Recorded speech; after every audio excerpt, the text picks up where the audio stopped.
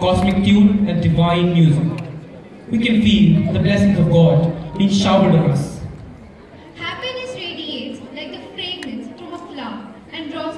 Good things towards you.